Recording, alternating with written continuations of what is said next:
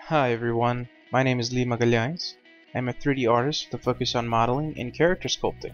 I currently work as a full-time teacher in Brazil, and I've been in the industry for over 5 years, working for companies such as Autodesk and TurboSquid. In this course, we're going to take a look at how to sculpt a bird of prey.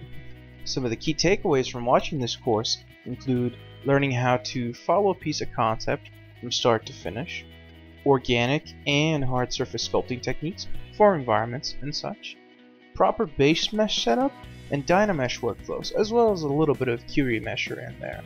And smaller things, such as creating cool compositions, poly painting, and much, much more. By the end of the training, you'll be more confident in your abilities to sculpt creatures, be that from your own designs or from a client. Confidence is key for you to continue to always challenge yourself and keep growing as an artist. I'm excited to bring you another tutorial here on Digital Tutors and look forward to sharing my techniques with you. Sign in or sign up. Let's get started.